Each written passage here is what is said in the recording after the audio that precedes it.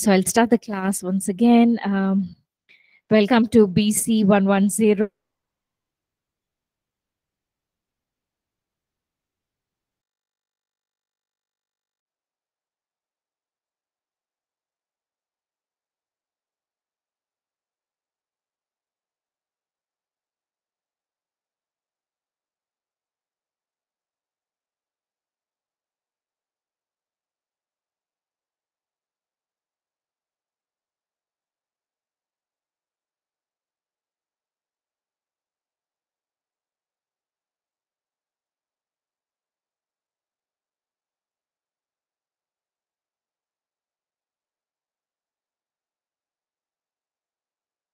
Thank you, guys. Okay, I'm audible now.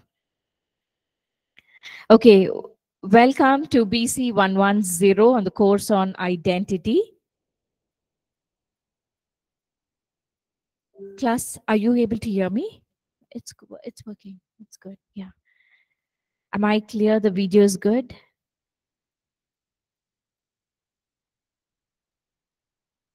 Okay. Okay. Thank you. Thank you for confirming. Yeah. All fine. Okay. So we are on section 10.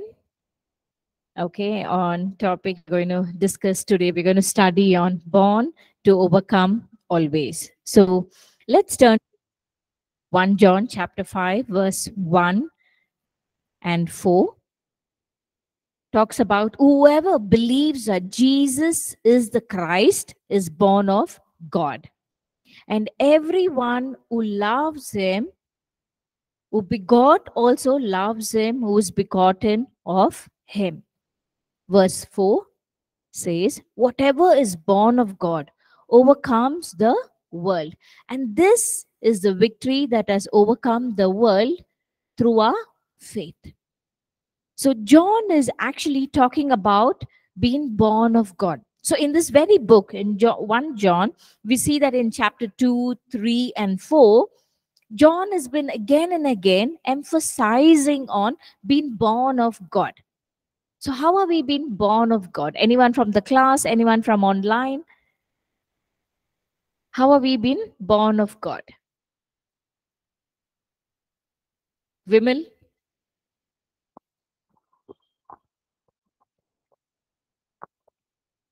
Okay. Vimal says, when we believe in Jesus Christ, we are born of God. We have Sean here.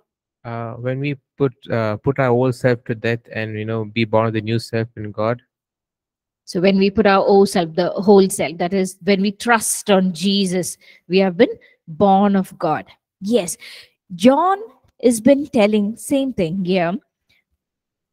Whoever believes in Jesus Christ, whoever believes, that is complete trust, as Sean said, complete trust that Jesus is the Son of God, is been born of God. So this means believing in the Messiah, one who was promised from the very Old Testament. You see, time and again, the prophets were saying that there is a need of Messiah. God will send the Messiah to redeem his people. And here we see John been emphasizing Jesus as the Messiah. So, usually, if you see the book of John, the Gospel of John, and the other books, John emphasizes on the love of God.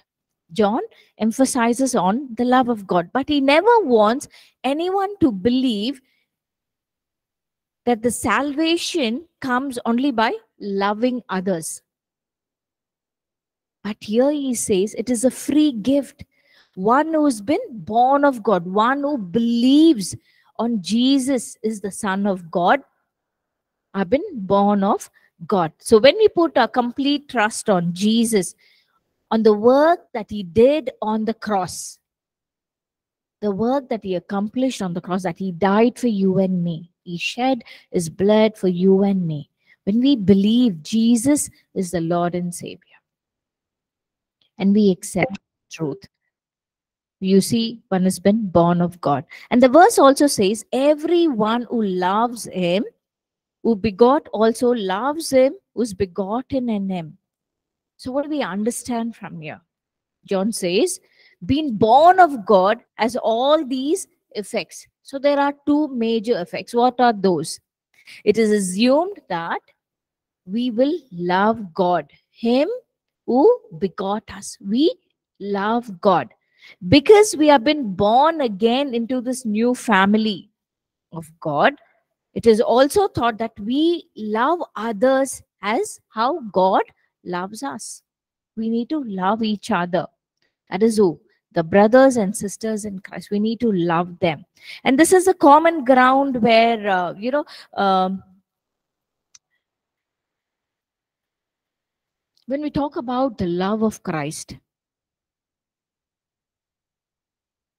so we need, it has been discussed on the common ground that one who believes in Jesus, we have the free gift of salvation. How do we receive this free gift of salvation?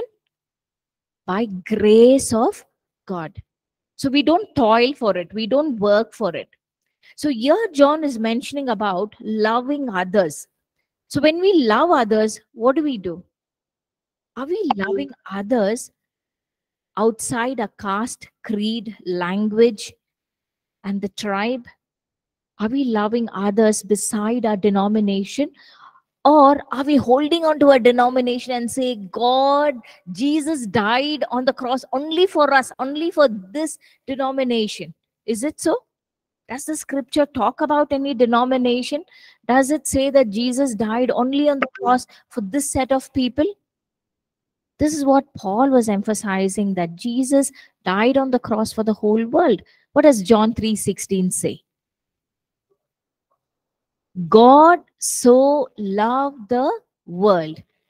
Did Jesus did God say he loved only certain denomination? No, God is a big God. You know, he's he's talking about the whole world. So he says, I love the world. I love the world and I died for each one of them from the world. So people may be in the faith or people may be outside faith okay, of a different faith. But if they believe Jesus as the Lord and Savior and accept Him as the Son of God, will they receive the salvation, which is a free gift? Isn't it? When, when people from different denomination or people from different faith, when they put their faith on Jesus, when they come to the uh, knowledge of Christ, receive Jesus as a Lord and Savior, they get into the family of God. So there is no denomination in picture. There is no caste in this picture. There is no language. You may be in any tribe, any language. But the minute you trust Jesus, you accept him, you believe in him that he is the Son of God. He died on the cross for you and me. He died for me and receive him as a Lord and Savior. You have been born into God's family. You got it? This is what John is talking about. You may be in any caste, any tribe, any denomination, but the minute you accept Jesus, you come to the knowledge of Christ, and you accept Jesus as the Lord and Savior, now you have been born in God's family. So here is emphasizing on the free gift of salvation. You don't work for it. You don't toil for it. You don't earn it, but it's a free gift. How? Once you believe Jesus as the Lord and Savior, you receive it. You receive this eternal life and you've been born again in God's family. So being born of God as a common ground. That is by having putting our faith in Jesus Christ. So, verse 4 says, Whatever is born of God overcomes the world. And this is the victory that has overcome the world through faith. Through our faith. And in 1 Corinthians chapter 15, verse 57, Paul says, But thanks be to God who gives us the victory through our Lord Jesus Christ. So the victory, the battle has been fought by Jesus Christ. And we have the victory through Jesus. As we studied, in born of God, and our victory is in Christ Jesus. Our victory is in Christ Jesus. So, as we have studied that, let's move on to the next promise of life. Can I request Professor to turn to 1 John chapter 5, verse 20? 1 John chapter 5, verse 20.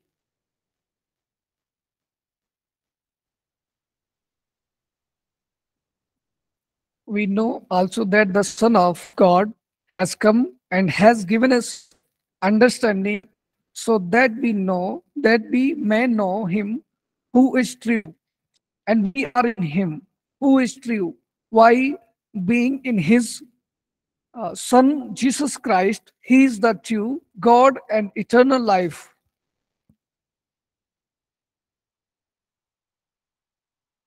to know him and to be in him is eternal life. Okay.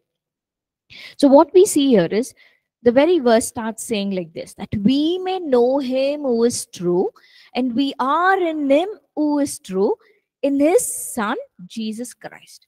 The very conclusion of this letter, John is returning to a very uh, to a major theme that is fellowship with Jesus Christ, relationship with Jesus Christ. So, how do we get this relationship? How do we develop a relationship with God? How do we develop the relationship with Jesus? Yes, Sean. When you meditate on His word, I meditate on His word. Okay. Anyone? Through prayer and spending time with God. Okay. Anyone? line you can type in the chat uh, okay nina says no no faith in him. Okay.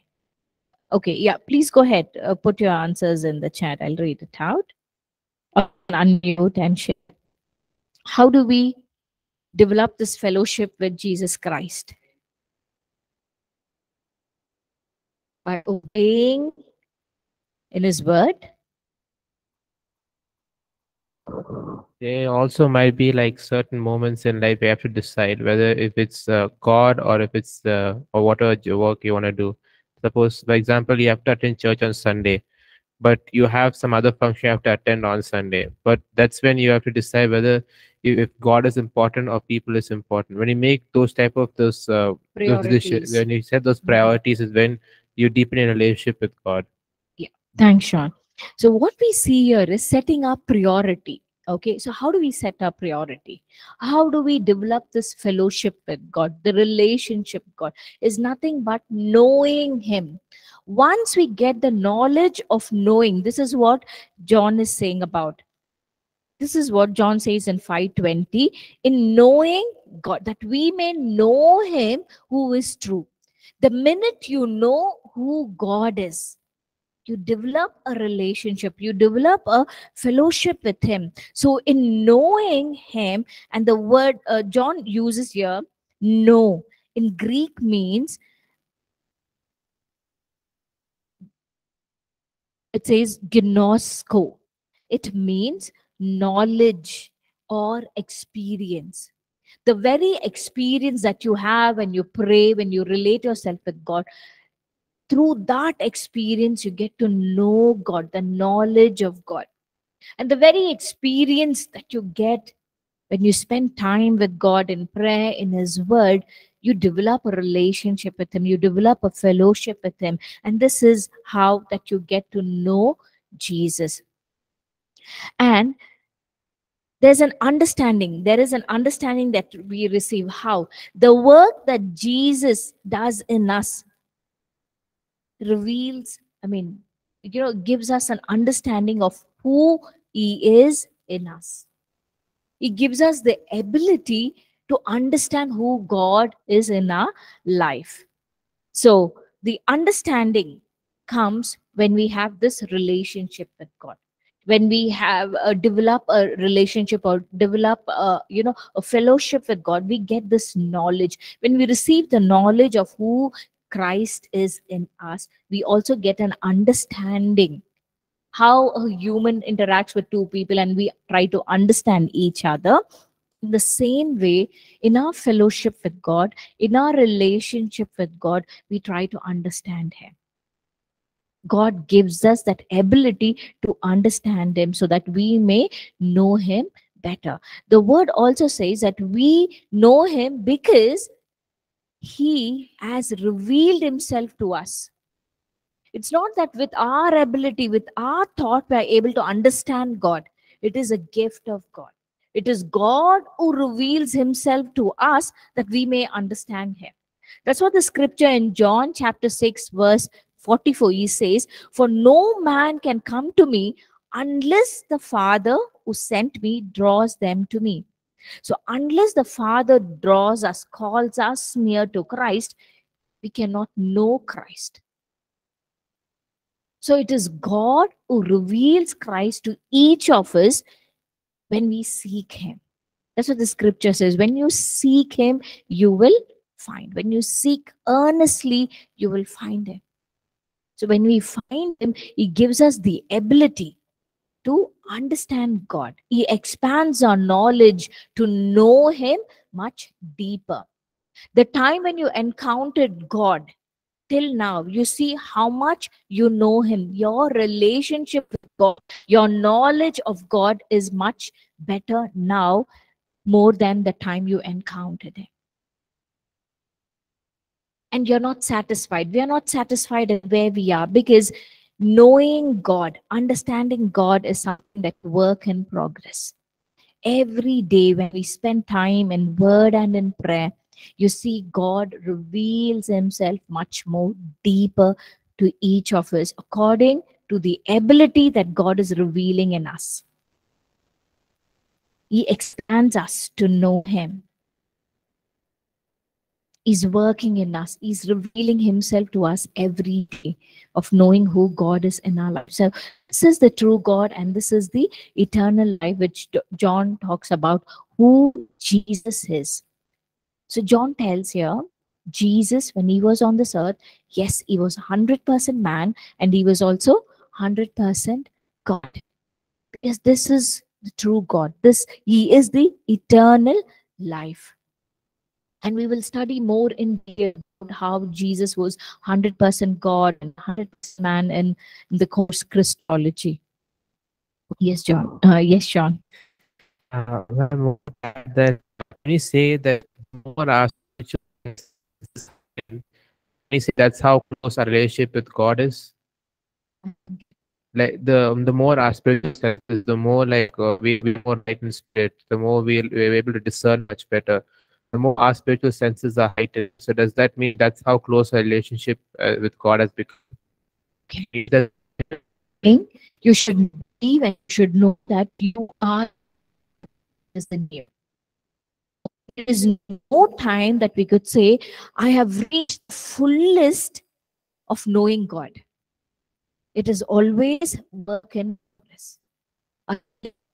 God will only grow, grow and grow every time you read the word, every time you see different revelation or a deeper, I must say, you get in the word.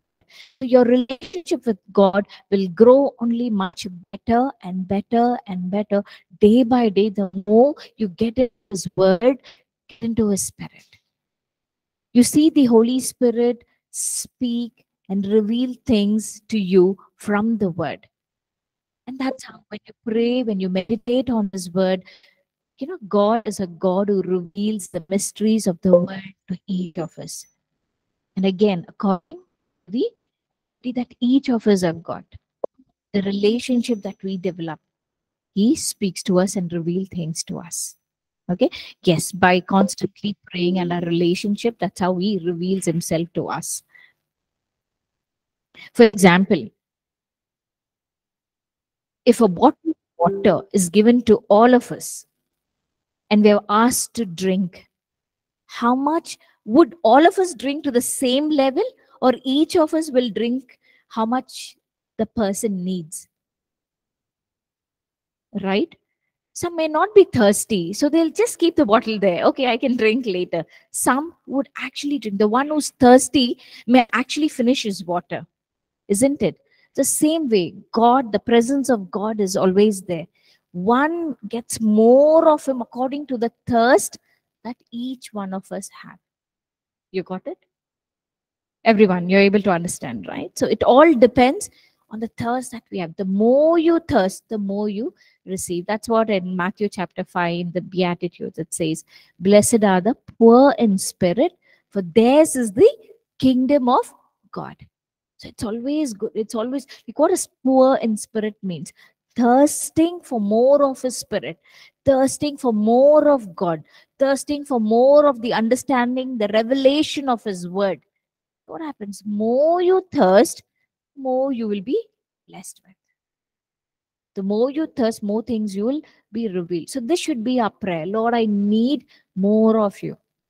I need more of you. I, I, don't want to be satisfied. I don't want to be in the place of content in knowing God. You got it? Contentment is important in the other things, in the worldly things, okay? But when it comes to God, we should not be content. We should ask God, God, I need you more. I want to know you more. I want to understand you more. I want to uh, develop this relationship, this fellowship more with you. Expand my spirit person that I may understand more of you and experience more of you. So we should be in that place. Okay, with that, we will move on to the next one sealed with the Spirit. Sealed with the Spirit. Ephesians chapter 1, verse 13 and 14. Can I request one of them from the online class to read Ephesians chapter 1, verse and 14? Vijay, if they read, we can all hear, right? Yeah.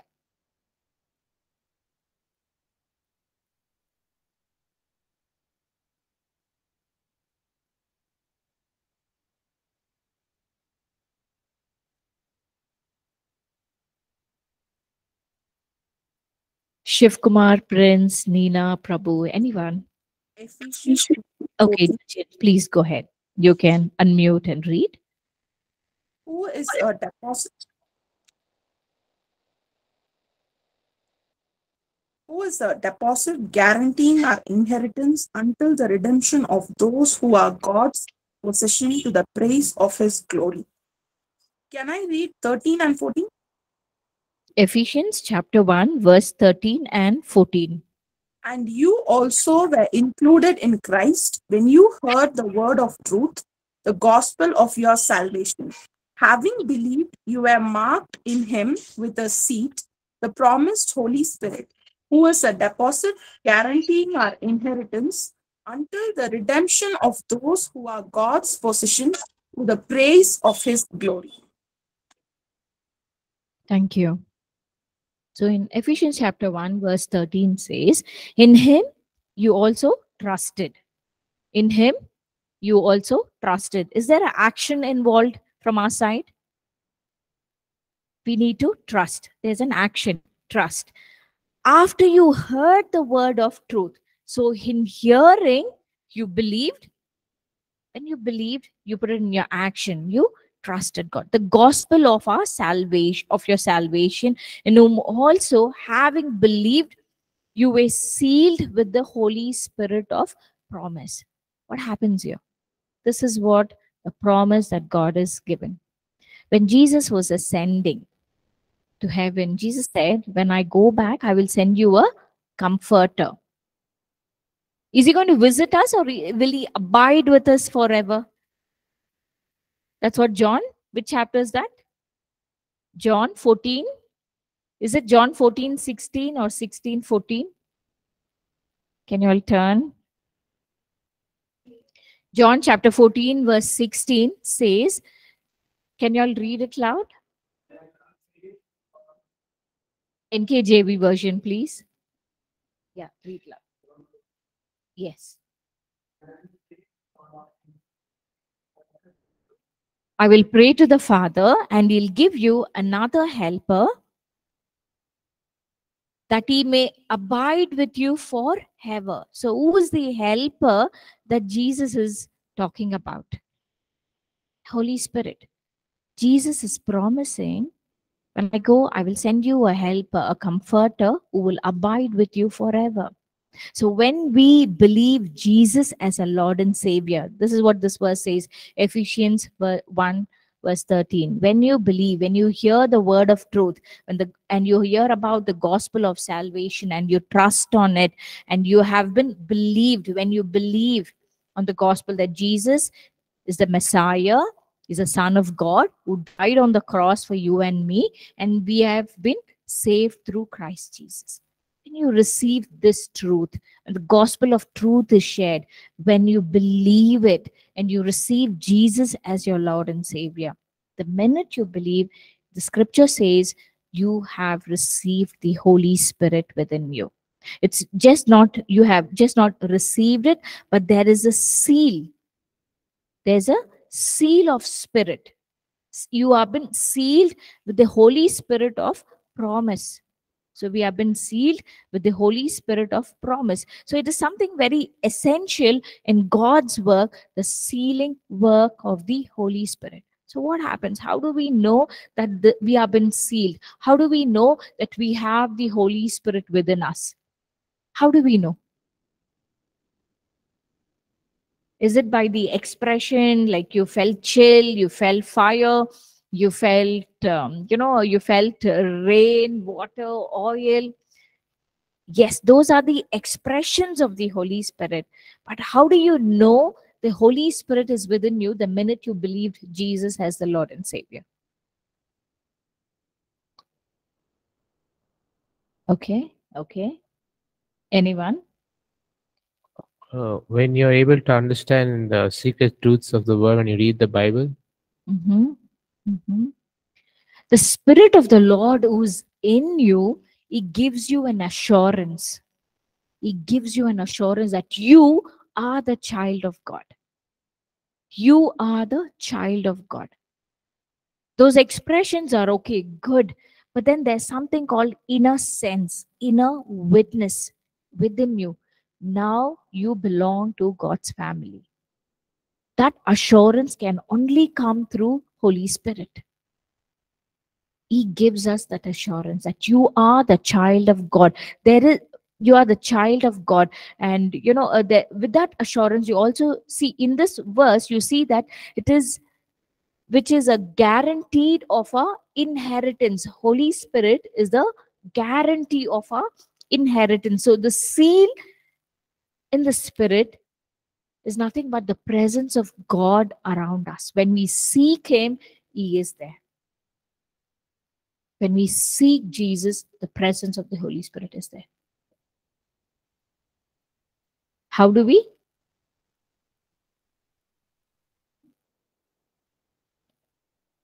How do we get that assurance? Inner inner witness. It is the sense.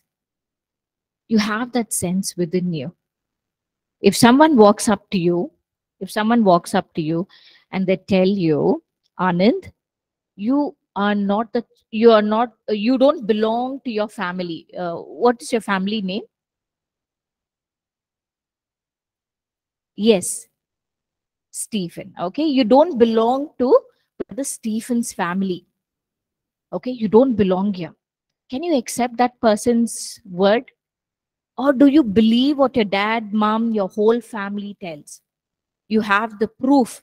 You go through your childhood from the time you were born from the hospital. They have the photos. They show you all the records. You have a birth certificate. You have everything. Now you've gone through everything but there's one person who comes and walks up to you and say anand you don't belong to this family. Will you believe that? You say no what you're saying is not right. I belong here. There's an assurance within you that's how. When you're born of God, when you receive Jesus as the Lord and Savior, you have been born of God. There's an inner sense. The Holy Spirit who's in you will give you that assurance. Will give you that assurance. This is what the scripture says. You have been born of God, like how the records we have. Same way, this is the word from God Himself. He, says that like you God loved you so much that God died for you. You believe in that. How do you believe in this word? The Lord who's in you. What is it? Uh, Before this, we read the scripture, isn't it? Unless and until the Father calls you, you cannot come to Him. Unless and until He reveals Himself to you, you cannot. So God gives you that understanding, gives each of us the understanding of knowing Him. And having been born of God overcomes the world. No matter what the world says, you know, because you're born of God, you have this inner witness, inner strength within you, knowing and assurance that you are of God. That's why the scripture says there is no condemnation for those who are in Christ Jesus. There is no condemnation. No matter, yes, as a man, we fall. We fall. But then the Lord says, when you repent, when you seek me, don't give up, seek me, you will come back. There is no condemnation in Christ Jesus. We come back. We are again his child. We are again the daughter and son in him. Can we turn to 1 Corinthians chapter 1 verse 30?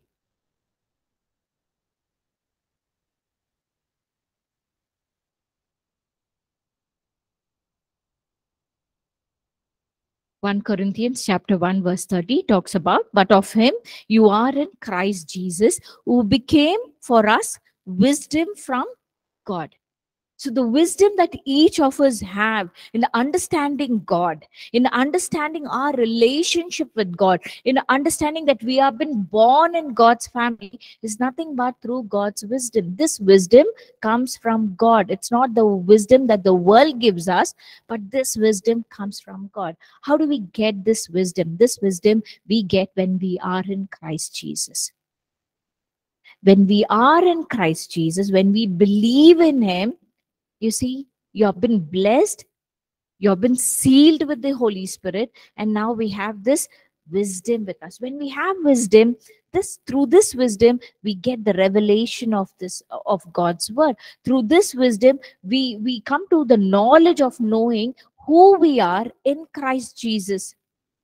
So what happens through this wisdom? We see that in the same verse you see who became for us wisdom from god and righteousness and sanctification and redemption. Now, you may feel that hey, I'm not righteous, but then the scripture says, because you are in Christ, you have been made righteous. Now, because you're in Christ, you have been sanctified, purified, set apart for His work.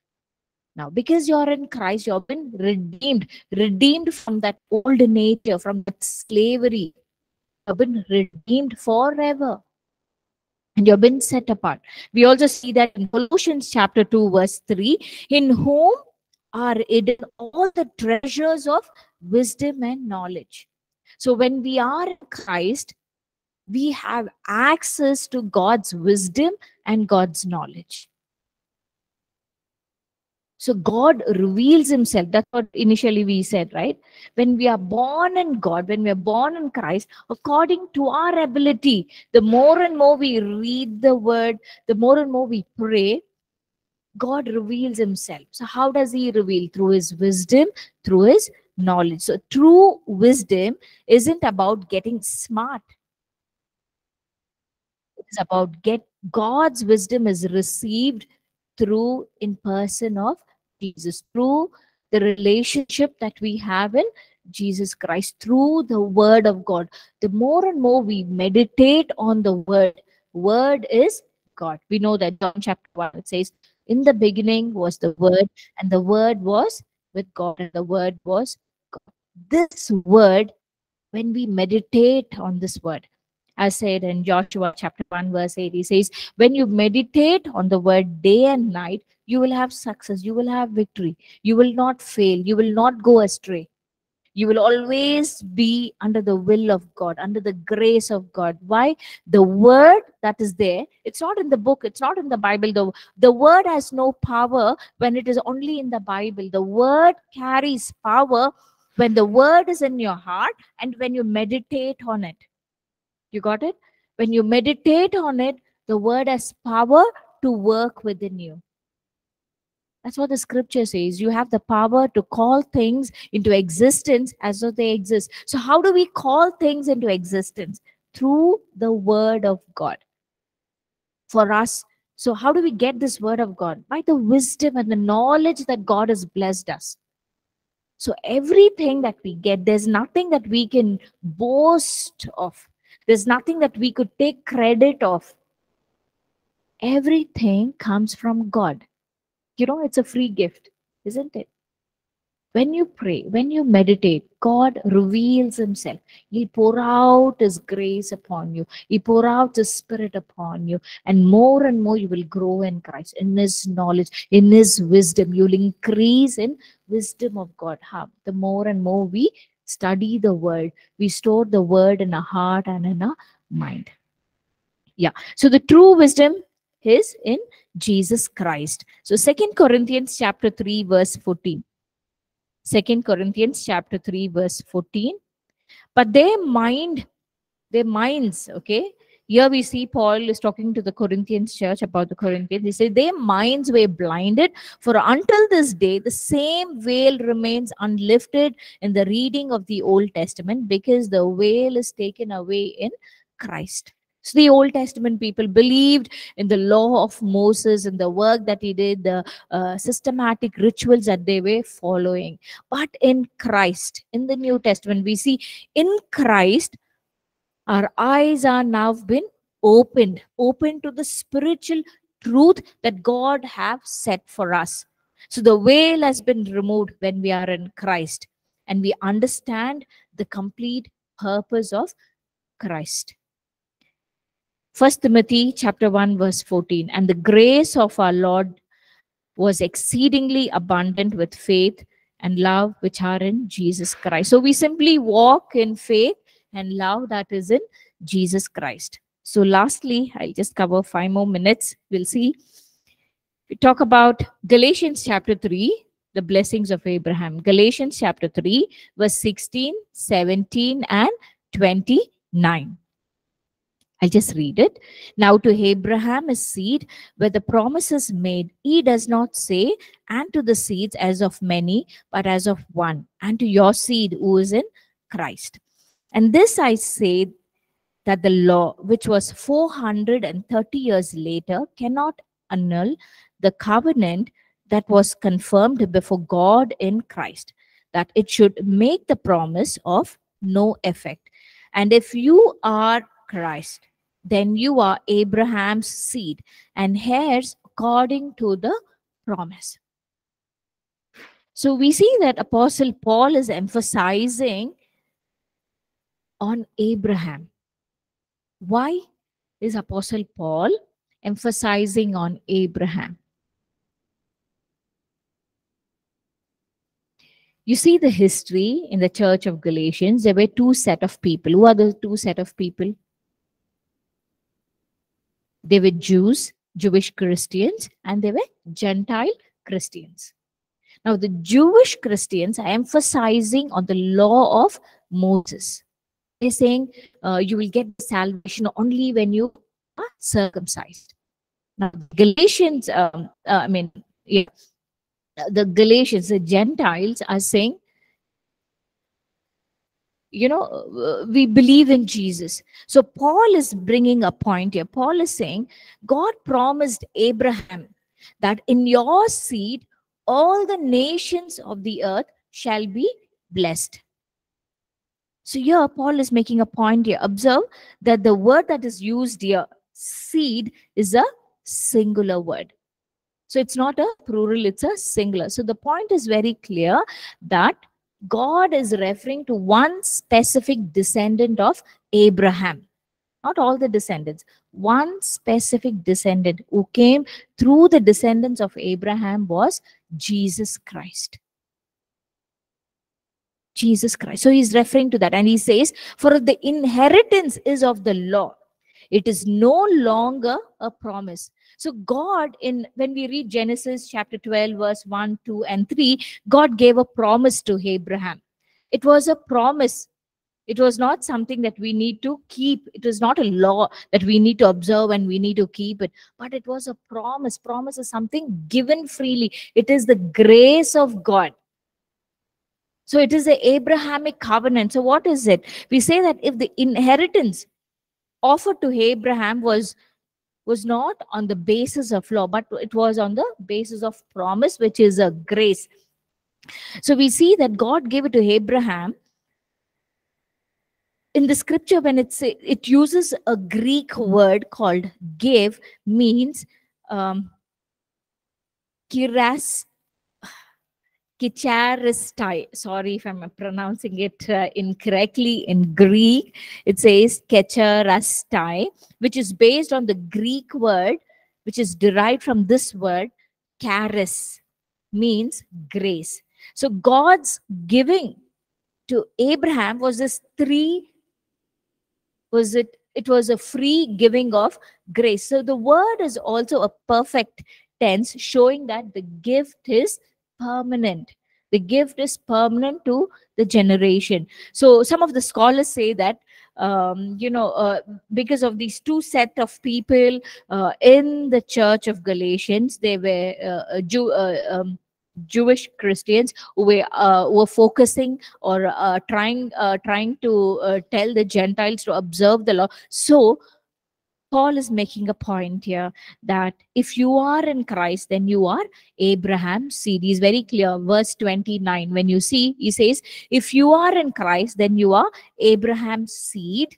You're just not a seed, but you are heirs as well, according to the promise that God gave to Abraham. So, all Christians, all Christians who believe that Jesus is Messiah, we are the descendants of Abraham and the heirs of God. Okay, when we believe Jesus is the Messiah, Jesus is Christ, automatically we get into this blessing of Abrahamic covenant where we become his descendant and heirs of God. So this place is a very high privilege place according to the promise that has been given to us. So if we are in Christ, then we have the access to this promise. So this the access to this promise does not come to us by any law or does not come to us by being in any set of denomination okay? Or any set you may be a slave or you may be free. You may be a jew or you may be a gentile. Despite where you are which language which tribe which caste you are the minute you believe jesus is the lord and savior you have been born of god in his kingdom and because you have been born in god's kingdom you have the access of abrahamic covenant abrahamic blessing where you become the heirs of God. So the blessing that has been stated in Genesis 12, um, 1, 2, 3, we see that we are blessed in all things and in all area of our life. Second, there are five blessings, okay? Second, we see that we are blessed to be a blessing to the nations. Third, we see we have been made righteous by faith in Christ Jesus. Fourth, we see we have a friendship with God. We have this relationship to become a friend with God, like how Abraham was a friend with God. And the fifth, see, we have the victory over our enemies. Enemies have no power because God, Jesus fought the battle. He died on the cross, and we are in the place of victory. So, whenever we handle any kind of challenges, any kind of situation, we should have the knowledge that we are in Christ and we are fighting from the place of victory. You got it? The battle belongs to God. Lord, when Jesus fights our battle, and we have victory in Him. So, with that, I end this session. Okay? So in christ we have all good things. All good things in christ. We have the access of all good things. And when we have this access of all good things and we also have this knowledge like christ has been so good that he has blessed us. One thing in abrahamic blessing is blessed to be a blessing to the nation. What is it when we have this access to the good things the access is also for us to be a overflowing, to be a blessing. Because God has blessed us, we are going to be a blessing where we will have this heart of blessing to the other people around us. Just like how it talks in the scripture, Philemon 1 6, Philemon was a rich man. God blessed him. Because God blessed him, he became a blessing towards all the Christians who were very poor around him. So there is a nature of God is for us to be a blessing. Okay. So as we are in Christ, we should also emphasize on the nature of Christ for us to be a blessing to others as well. Okay. So with this knowledge, let's pray.